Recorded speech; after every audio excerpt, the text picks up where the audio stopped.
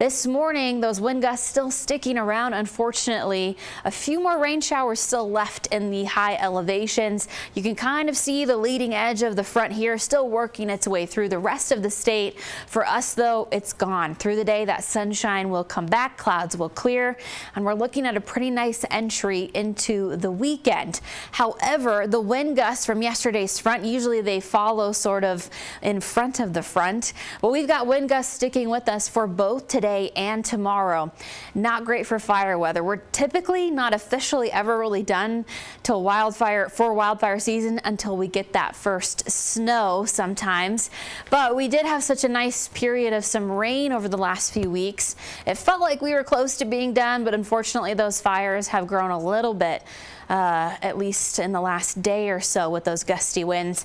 So keep an eye out. If you see a new fire, call it in. We've got those gusty winds sticking with us uh, through Friday, a little break Saturday, and then Sunday we've got another weak disturbance coming in, just like what happened yesterday. Tuesday we could even see the same thing. So we're not going to get a break with those winds, unfortunately. But let's also talk about some hurricane winds coming up a little bit later in the show. We've got some details about Hurricane Helene Which is on its way to uh, the Gulf Coast, the southeast. Very, very strong storm headed their direction. This is just a map of hurricane strikes from 1950 to 2023. So you're looking at all the Cat 1s in that yellow color, Cat 2 in that orange color, Cat 3 in the red. I'm going to take us through Cat 4 and Cat 5 here just to show you how many times we get hurt. We've gotten hurricanes in the last uh, several years. Take a look at this. Just so many dotting the coast, right? We actually had hurricane force winds here in July with our big uh, storm that hit. We had 80 to 100 mile per hour winds.